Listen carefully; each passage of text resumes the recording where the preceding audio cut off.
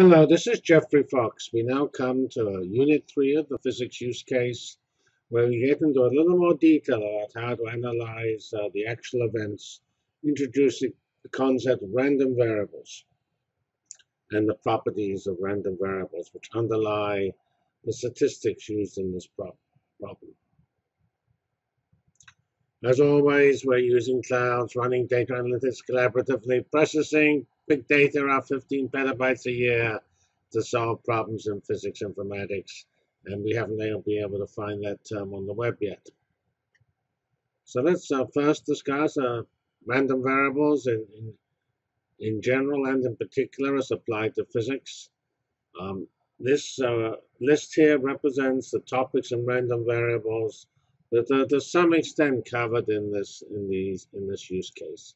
This is not a course on statistics, but it is a an example of using statistics to solve a particular use case, that of uh, analysis of physics data. So we uh, we will, at the end of this, if you want, you can say you've learned the following things. You've learned what a random variable is. But you you will have been introduced to independently identically distributed random variables, which are what you get in physics, because uh, when those particles collide, two protons collide, uh, each event is uh, independent, coming from sort of the quantum mechanical uh, under, underpinnings of that of those collisions. Then we have uh, something pretty important, the law of la large numbers, that the error is proportional to the square root of the mean. And we have already something we've already introduced, counting experiments, which count numbers, number of times things happen. We have important distributions. First, the Gaussian or normal distribution, which you get when you add, when you look at the distribution of the average of large numbers of uh, independent random variables. You have important uh, consequences of either having too few observations or too few experiments. That's the statistical error side of things. We also have the systematic error or, bi or bias, which is in practice more important um, because we know what to do with statistics, we just run longer.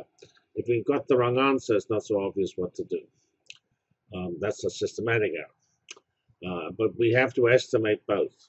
Um, and to do systematic errors, we won't really discuss that in these lectures because um, that you have to know a lot of physics to disentangle the systematics of a particular experimental apparatus.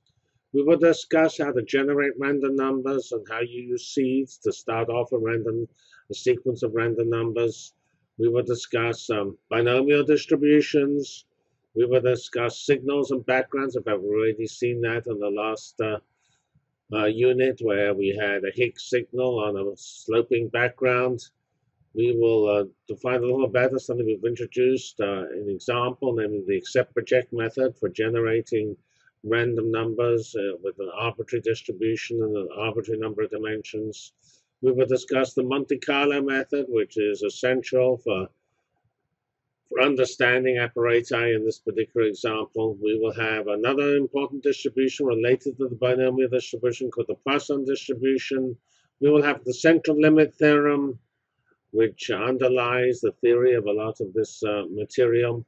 And then we have a little diversion at the end of the unit four on frequency versus Bayesian interpretation of probabilities. And also Bayes rule, which uh, is a very important rule for combining information. So all of these things are at some extent at least mentioned, if not uh, deeply covered in these lectures. So um, Let's think about a random variable in the physics of the Large Hadron Collider. As we've said already, the area of probability and statistics is the analytics that underlies the analysis of physics data. And I first started doing this, I don't know, too long ago, 1970 or something. That's quite depressing. And uh, at the time we did it in those days, physics was probably one of the uh, largest examples of uh, the application of probability and statistics because the physics had uh, was already still was already big science doing big experiments and so they tended to gather more complicated data than anybody else now it's not so obvious that's true we get lots of data of all sorts of types automatically on the internet and maybe Twitter is more more or um, Google search is uh, actually a better example today. But in those old days, lots of the important texts on statistics came from physicists who were using the basic theory done by typically mathematicians to analyze data.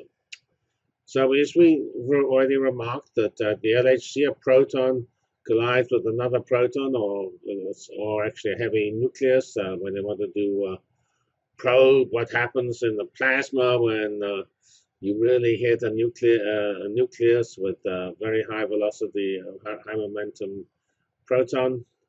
And say there is the, the sort of fundamental quantum mechanics of that those interactions says that whatever happens is random and the, the result of each collision is independent of the previous collision and they run over an incredible set of um, possibilities because those possibilities are, are labeled by hundreds of real numbers, which are the momenta and etc. of, of the various outgoing particles.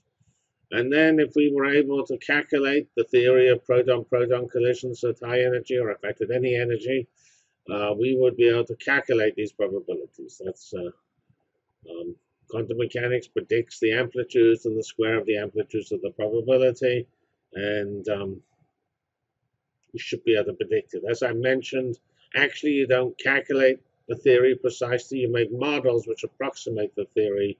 You use those to interpret the results. And I, I think I mentioned historically, I used to work in this area of building models. It was called particle physics phenomenology, and uh, I worked with uh, distinguished people like um, Richard Feynman, who taught me how to do some of those modeling models. So we have these collisions, which are all random. And then we have results, which uh, the results are actually caught events. These are very complicated events because they record everything that happened in the collision.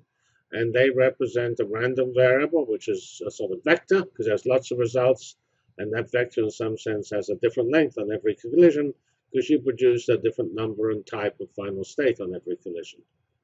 Um, and of course, such events, which are isolated independent activities, are very important, where you um, earthquakes, stock stock transaction and bank transaction are also, of course, other types of important events.